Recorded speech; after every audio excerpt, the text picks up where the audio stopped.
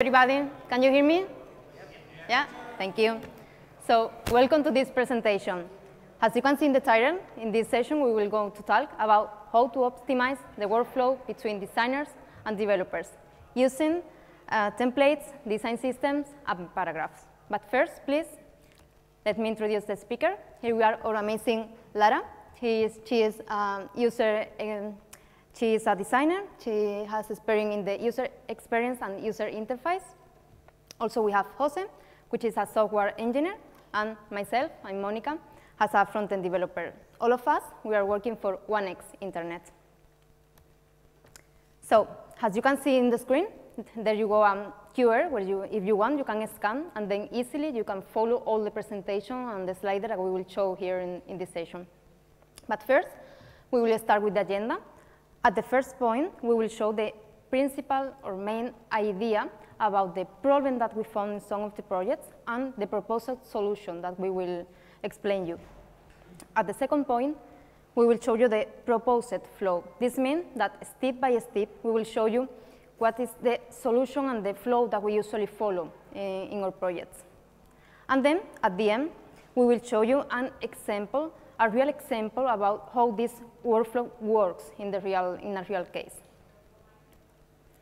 So our idea and the central point of this presentation will be the templates. Why? Because templates makes things easier, especially in collaboration terms. But first, we will get some context about what the problem that we found between developers and designers, because sometimes, you know, could be a bit problematic, let's say. It could be because sometimes we have some friction between designers and developers because as a developer, sometimes we found that we find a really, really hard design in order to implement. And as a designer, maybe sometimes they feel um, a bit um, hard because they feel that they, we cannot, at the end, implement all of the design that they, they provide us. So this can in some unsustainable situations, delays, conflict, and failures. But why this is a problem? So we will show you some example in the both side, as a designers and as a developers. So let's start with the, the problem that we found as a designers. Sometimes happens that as a designer, maybe you don't know how much complex could be to implement something, how hard could be.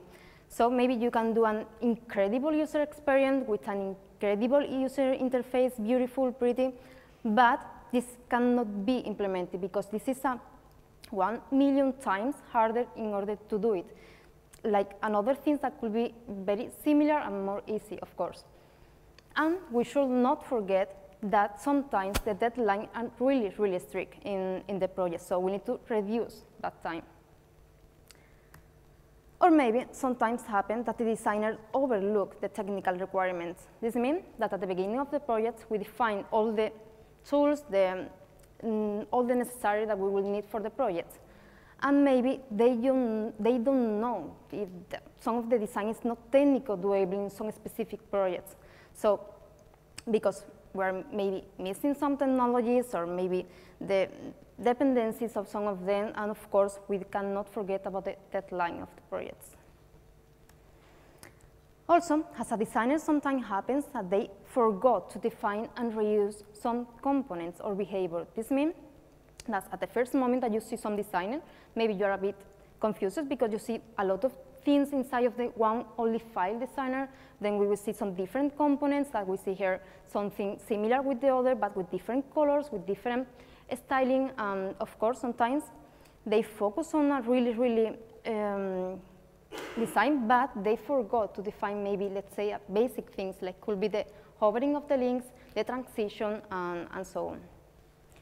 But now, what about the developers? What happened with us? Why we have some problems here?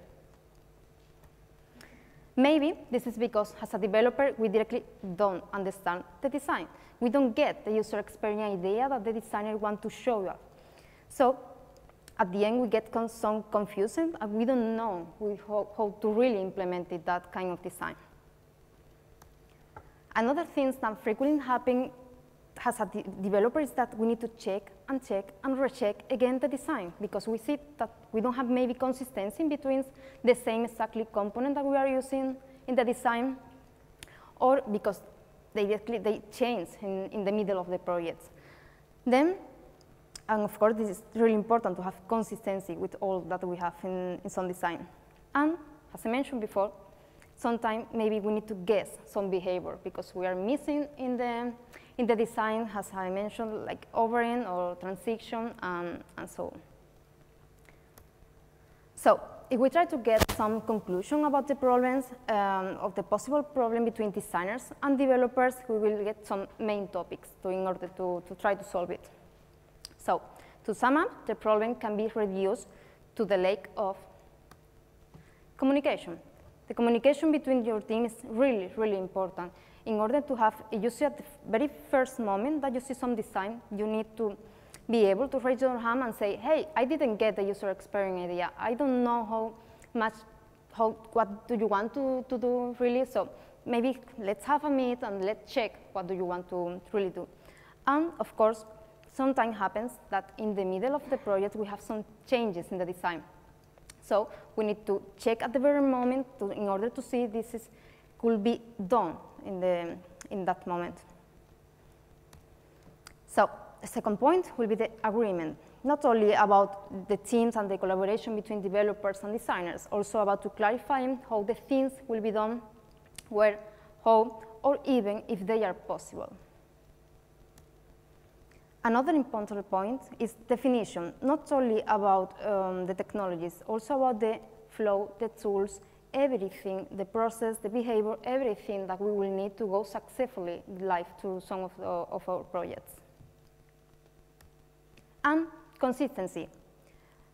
We need to have, of course, in the design, consistency, not only the design, also in the developer parts, we have consistency between all the same components that we will use. For example, exactly the same padding inside a button, exactly the same colors, and, and so on. So now we are going to talk about the solution that we proposed with the matching atomic templates. But what is the matching atomic template? This means that we will have two connected templates. So as you can see the screenshot we have on the right side, we will have some templates for the design, which will match and say exactly the same as we have in the left side for the developer side. So this, this, this will be the starting point to any project, but why? Because this could be reusable, iterable, and maintainable for the both sides, not only about the developers, also for the designers. And then, of course, this will be the base for any or new project that we will, uh, that we will try to, to use in the future.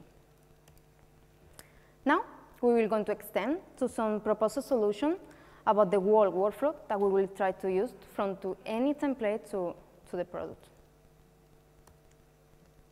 But how this, whoa, this workflow we will going to start. So the step one will be to implement these templates that we will need to define. So for that reason, we will define the foundations. On the developer side, we will have some development templates. Also, we will have some the base front-end functionality that we will need for all of the project that we will work.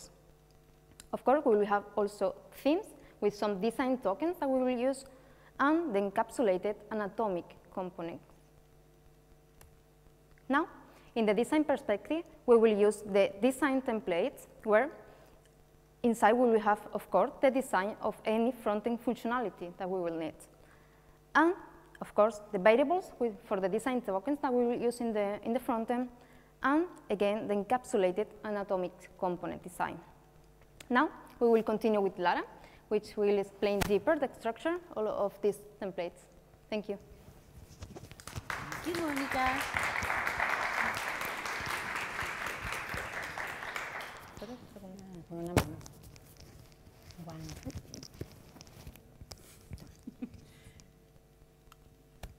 It's hard with only one hand.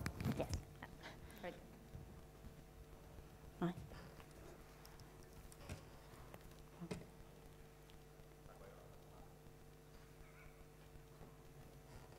So, hi all. So now it's time to see how works and help designers here.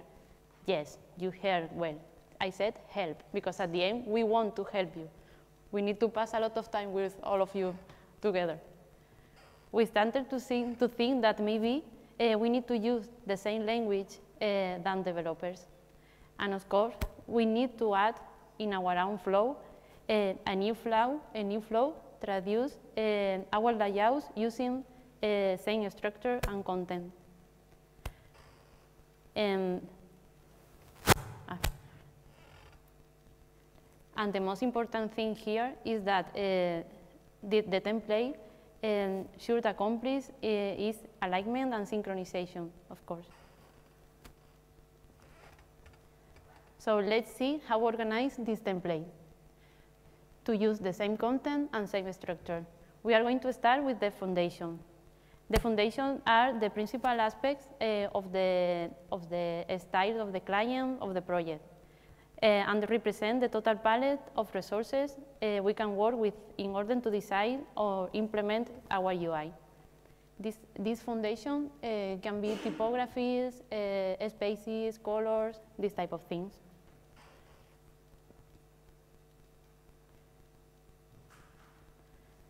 In the design side, uh, we are going to use a new feature that the software that we use incorporate last month, uh, naming variables and styles. Uh, where naming uh, should be meaningful and we don't have the responsibility to name it. We are going to introduce this naming in all of our templates. Try to avoid the use of, for example, light gray, light light gray, light gray zero. So we define uh, general variables that we can reuse in all of our projects. So it's part of our templates.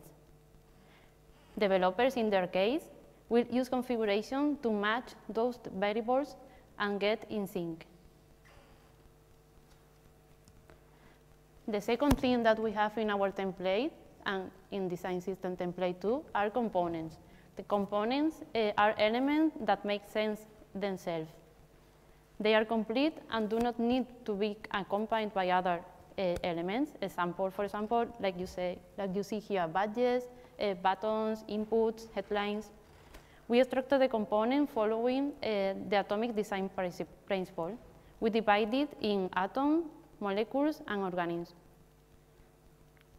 It's really, really important to always use Foundation to define this component. Developers, in their case, will implement encapsulated component using the same Foundation. The third thing that we have are sections. Sections are a set of components that come together to take a function of, uh, at a more global level. These are, for example, accordions, breadcrumbs, cards, what else? They are uh, wrapped in order to fit in the future website and implement basic layout structures. Developers will integrate components in this section that then will be used directly in the final website. And finally, we are going to have pages. We are started uh, these pages defining regions. This region can be footer, header, menus, and we are going to use this section to build uh, our page samples. Developers will also use uh, to mock up, uh, will also mock up this section, these pages, sorry, in their design system and this will be helpful in order to present and test a real website to some implementations, some projects, or, or clients.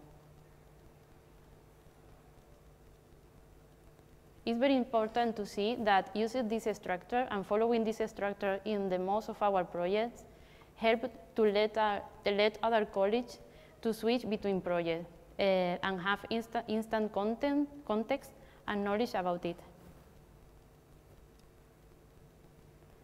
So after seeing how, how is organized this template, uh, we want to explain how we use this templates in one new design. Maybe, but we, I want to start saying that maybe you have in your mind that maybe using this template uh, can constrain the, the part of the designer. It's something that we start to think when we uh, start with the flow. We start to think that maybe they want to move us to the dark side. But at the end, uh, thinking we have the answer that maybe no. But sure that no. Why not? It's so simple. We are going to use this template to translate our designs in their language. And we add it as part of our flow. So at the end, we, don't, we want to maintain the principal, the principal principle of a product designer that design finish then when users are able to use it. And at the end, all of you are very important part of it, like developers. First, we are going to start uh, with our brainstorming, drafting, defining the product, and, the, and resolving the goals of the project or the client. Then we are going to check with the team, and after it with the client, and after it, uh, we are going to start creating this first draft of the design template.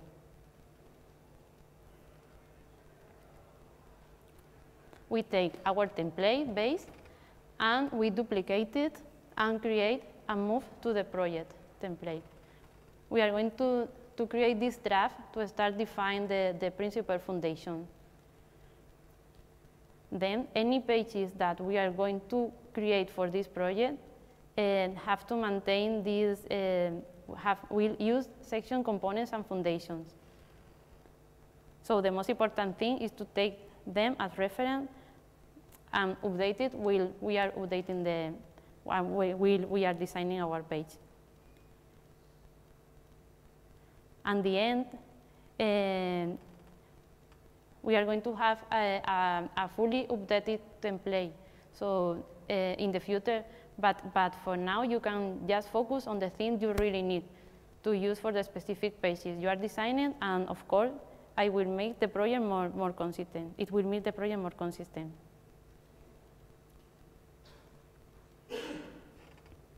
So the template lets, le, lets us, like a designer, uh, focus in the, in the hard part of a new project. How this provide this focus? First of all, uh, if we follow, uh, we, we are going to have a basic checklist of the elements that we need in all of our projects.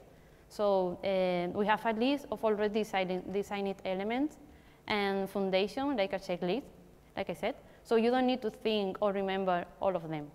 Um, in this case, we make sure that developers uh, have all the things to create the, the different pages and the different things of the, of the project.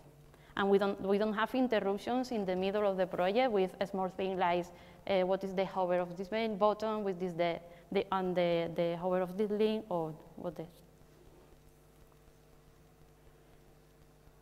The second point is that uh, based in the central nature of, of design system, uh, we are going to have a continuous improvement.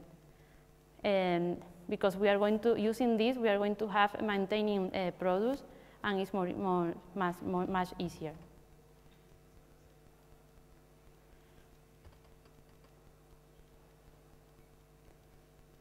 When we base uh, projects on, on our design system template, we follow a big set of features and a clear structure, so we can continuously implement and improve internally um, for our uh, new design. fixes on improvement in the design system and design file. Um, templates instantly propagate toward the future products when we change foundation or components because they are uh, used everywhere. So for this reason, uh, we, we, we want, um, for this reason, we improve the quality uh, for our products uh, continuously, and we can scale up and grow uh, rapidly uh, in a controlled way. The third point is uh, design consistency. For us, it's not only a big positive impact from the user experience perspective, because additionally, it makes shorter product development, so uh, production times reduce, and thanks sounds to the reusability and the and extensibility of, of these templates. The fourth uh, point, and not the, the last one, uh, when we design a new feature uh, and they are implemented this new feature, if it's not very specific feature of one of project, we can contribute those to the template if we want, and that um, that uh, why we spread the knowledge and, and the templates get more complete. So this template is always a live file because always is always um, we provide always a new feature there. Based on the on these points, uh, it's good to to give you the information that help us uh, to let other uh, colleagues to switch between projects and, and have uh, instant content and knowledge about it. So we reduce the time uh, for onboarding between projects, uh, so we, we can move more fastly. Into this, this flow, we incorporate the step three, is the, the agreement. So uh, between the, the, the, agreement between, between both designers and, and, developers. We try to always avoid uh, something like this. So we start to, to define some, follow, some rules to follow. We always incorporate these specific uh, rules in all, in all of our design system, where we uh, define different status uh, where when we are working together between designers and developers, they always know when something is ready or when something needs to, to, to review for both.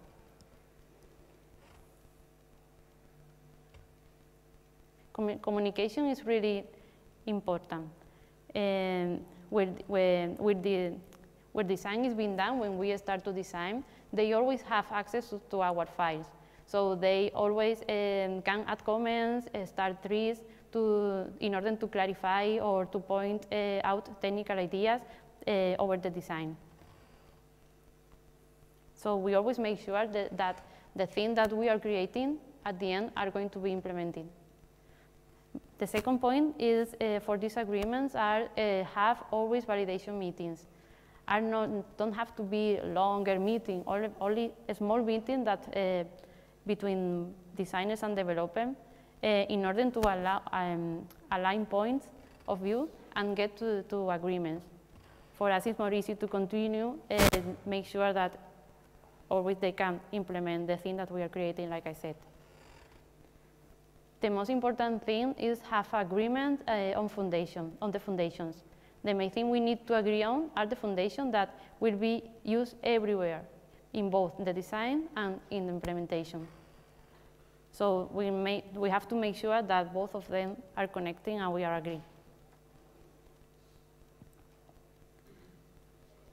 And the last one uh, is always iterated uh, when it's needed. Developer uh, can give us feedback uh, when they are developing a new functionality, a new feature, and we, like a designer, uh, can maybe um, change something if for them is more easy to implement or we can implement this design in a most easy way and, and not be complicate their life or when we consider it or when the client requests. At the same time, uh, this, this four point, this iteration provided a constant design uh, quality assurance process. So we don't have surprise at the, uh, in the last moment. So it's important to know that uh, we never lose uh, we never lose our communication in the process. We need to be transparent and, and of course, uh, keep templates in sync. So finally, uh, following this step, um, we get to be a happy team working in a comfortable atmosphere. And we boost our performance to together, of course improve the quality of our project, and we are aligning our time because at the end, we are going to speak the same language. Now, Jose is going to continue with the third part of things.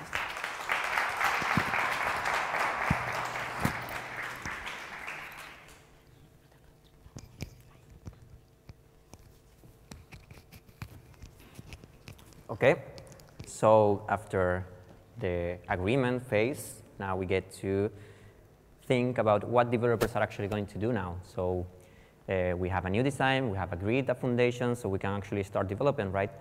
We are going to get our uh, design system that is, of course, in synchronization with our design template and with the new design. So we need to clone up and set up everything in order to actually get the starting point that we are going to, to get.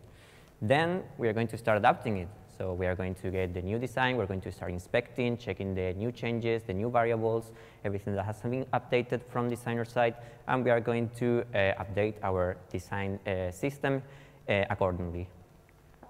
So we are going to start, as we are following atomic design principles, we're going to start with the foundations. Once again, you can see the variables, you can just check what uh, values has been changed because the naming is always the same, and you can just update the, to the new value and get instantly changes in the whole design system because everything in your design system is based on those foundations.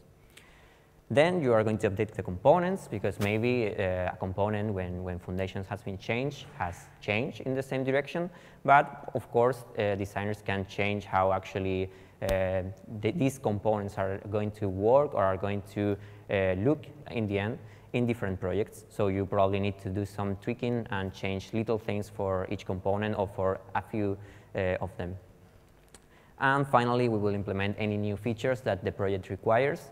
Uh, because, for example, if you are just uh, implementing something that is in a different field, you need something specific for that field, like e-commerce or something like that. So to sum up, we had four steps. We started with the templates. We needed to define them in, actually, in order to actually have these starting points and to have them in sync. Then we uh, had a new design. The designer started drafting, had the freedom to actually do whatever they wanted, but then they took the, this template and started uh, yeah, changing and updating the foundations so then uh, developers could actually update their design system too and keep synchro synchronous uh, work. Of course, we have a validation meeting where we just agree on those foundations and finally we get to our design system implementation and update everything to get uh, everything uh, for the new project that we are working on. But where is Drupal? You might be wondering that because we are in a Drupal camp, so where is Drupal in all these uh, equations? So we actually need to implement, uh, to, to, get this uh, design system into a real website, and in order to do that, we will use uh, Drupal. So how is that design system going to be consumed? Easy. We are going to have a Drupal theme template, also a template, uh, that is uh, automatically using all these web all these components or all these web components, as we are going to, to explain later why we use them, uh, in order to uh, yeah, implement the design on the website, so get the design into the real website. And this theme is, of course, going to have sections, regions, whatever, and all of them are going to be already using the, the design system. But uh, we want to be specific in the paragraphs that are going to be those sections because they are going to let editors actually uh, add these components that we have in the design system wherever they want in their, in their pages.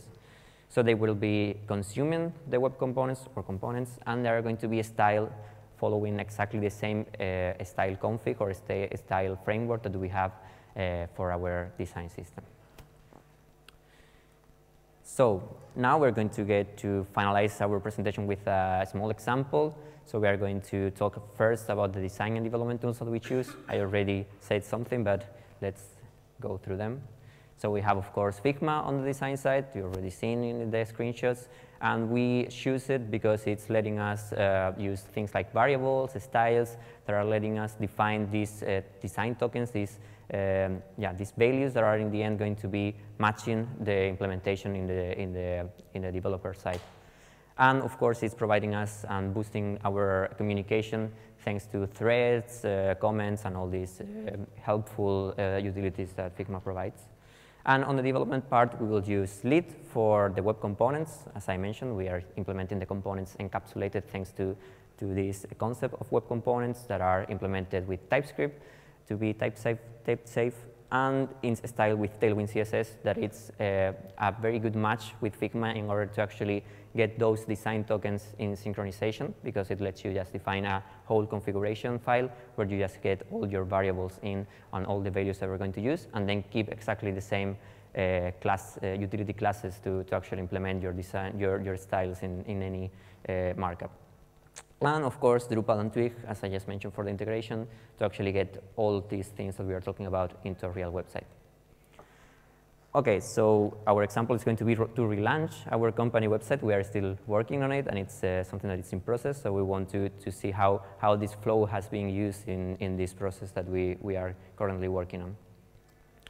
So first of all, defining the, templates. I'm not going to talk too much here because it's already explained in all the, the parts that we have before.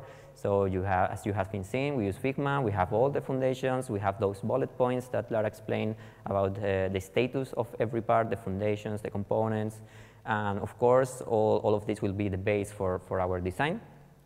And we have Quartz, is the name of our design system that you can see here thanks to a storybook that is letting us structure everything the same way as we do on Figma. So you have the same exactly uh, foundations, the same exactly components, the sidebar structure is exactly the same, which makes things much easier. And of course, we will take it as the base for, for this new project. So some important, important features that I already mentioned, the variables, you can see there how values are just added to different namings, and then developers can just check that list and take all the values to their uh, Tailwind config. And the developer mode, where when you are actually inspecting a design, you can just go specifically to, for example, this button and check exactly which variable is being used for the padding, which variable is used for, for whatever else. And on the design system side, we have a change log where we can just provide what was before you actually started the project, so you can see what was from the template and what is new. You can just copy the markup of your web components and paste it wherever, and it will work. And you can just change using these fields uh, how uh, every specific case of a component looks like, so you can always see every possible uh, variant of your components. Then we start our new design. The designers will, of course, again, clone the design template after some drafting and some ideas and they are going to get started with the pages and the regions. They don't need to start following the whole sidebar to actually change everything, every foundation, every component. They can just start designing, but at the same time, they will be updating all these foundations. So they, for example, take the template, they just go to the pages, and for example, design this uh, nice page, and at the same time, they are designing these kind of pages. They are going back to every component or every foundation that is involved and they are changing them in, in order to actually keep and at the end get a library that is uh, specifically ready to use for, for development so they can just get in sync easily. Then we have the agreement phase. It's an example, but of course it's just design review, checking, inspecting, saying, okay, this is doable, this is not, let's change a little bit here, let's change a little bit there. And we validate it so designers and developers are on agreement in terms of foundations and, and all these templates. Then we start inspecting and copying. We can just export some assets. We can just go to, uh, to the colors, copy some variable uh, values, uh, maybe some typography that it's new now. Um, yeah, following all the foundations, checking some values for spacings also. You can just copy all these values and then, of course, get to the code. So you go to your uh, assets. Again, you can change your assets. You can change your Tailwind config. For example, here are the colors. Paste the values that you just copied exactly on the same names that you already know. And uh, for example, yeah, some spacing value that you also copied. And then this will be applied to the components. But of course, as I mentioned, maybe you need to change something on, on the component. And yeah, now you can maybe need to change something specifically on, on the component side, uh, something that is changed for that uh, specific new design, and maybe also some Tailwind plugins or whatever related to your actual framework, in our case, Tailwind. So then again, the integration, where is Drupal? We have a theme. You can see there there is Granite. It's called Granite, and it's cloning inside of it the design system that it's Quartz uh, in exactly this, this folder called there. And then, of course, it's building it, and it's going to the, to the build folder, to this folder. And you can see there that the libraries are defined in order to actually introduce each component as a library. So then your theme can just consume the components on demand. And you can maybe also just specify exactly which ones you want to have always available, like on this uh, one on the, on the left, right side. You can see all these components specifically are uh, required all the time. But then, of course, you can maybe just want to, to attach a component since they are now libraries to a specific point, to a specific paragraph or specific region. So you can just do it doing attach library, and you attach your library specifically where you need it. And of course, these uh, paragraphs and these template sections can be directly just selected by the editor, so they can just get our design and our components directly into their websites, just clicking uh, in a few places. So the result, it's a customized design system where you can just see all the new values there, all the new colors, You can just go uh, by checking some icons that are new with a, with brand icon, and everything is just updated. So as you are using it and, and you are just synchronizing it with your theme, everything will get to a real website. For example, this is a page of the website using the accordion component, and you can see there that it's just looking exactly as, the, as it was defined on the design system. So as conclusion, we just wanted to point out these three key factors that are actually making this flow helpful and, and really usable that it's stability, it's something that it's really needed when developers and designers are collaborating because uh, you need to be on the same line, you need to be consistent. When you design something, you, need, you want it to be exactly the same on the development side and exactly the same on the real website. And in order to do that, we need uh, com good communication that is, of course, always going to help us to be aligned and to be uh, up to date with all the changes and all the updates that designers do and the developers need to, to implement. Finally, the structure, as we have mentioned, the templates were our key idea, and uh, updating them needs to be easy, and it's going to help us to make things maintainable, reusable, and extensible. And in the end, that uh, ends up into uh, productivity and boosts uh, our uh, yeah, processes. So yeah, that was all. Thanks to our platinum sponsors, thanks to the gold, silver, and bronze sponsors, and thanks to you. So do you have any questions?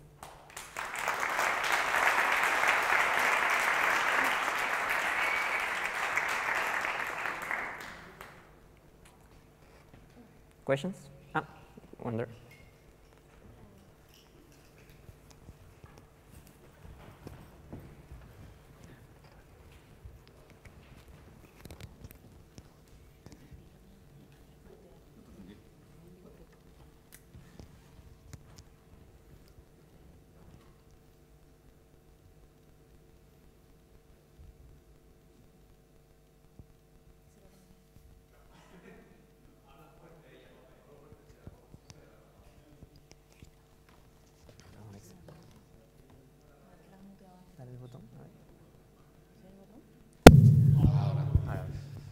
Okay, thank you for your talk. Uh, I was just curious uh, because uh, if, if I understood it well, uh, the implementation in Drupal of the, of the components is done by web components. So you are effectively bypassing the Twig um, layer of Drupal and using web components directly. So why was this decision? Can you please explain? So it's not exactly bypassing, it's just that you have a web component library that is uh, aside from your Drupal, and then your Drupal is actually consuming those web components. So as I saw, you can just specify which ones are required everywhere, but you still can have your Twig uh, templates to do whatever, to do regions, to do blocks, to do whatever you need. But of course, the, the concept of having a design system is that you actually use those web components in those Twig templates. But you can attach them specifically where you need it, or you can just require them to be always available for all your uh, templates. But it's not uh, skipping that part, it's just that you have it. But of course, if you are actually following this, this flow, you are expected to actually use the, the library that you are uh, defining. Just let me then change my, my question.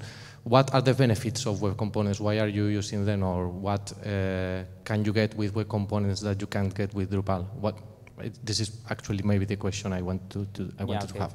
So in the end, the point is that it's really easy to make web components uh, match exactly structures and uh, designs that are based on small and encapsulated features and uh, styles and yeah, looks and feels that you want to have exactly the same and totally uh, encapsulated in that sense. If you actually want to have a component and then you are having a CSS file that it's on your on a folder on your Drupal and then someone else comes implementing something and overrides some uh, variables or some uh, style classes, everything is going to look messed up. But if you have a web component, it's totally encapsulated and you can trust that your design system is defining exactly how any of those web components is going to look all the time. It's never going to be uh, touched by anyone.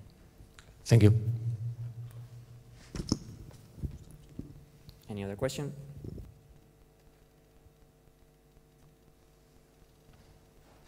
Okay. Then, yeah. Thank you very much.